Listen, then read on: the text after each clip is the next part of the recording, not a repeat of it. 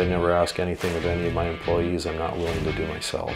I look for good people with a can-do attitude that aren't afraid to get their hands dirty. Some of this work is very physically demanding and you have to be willing to get dirty.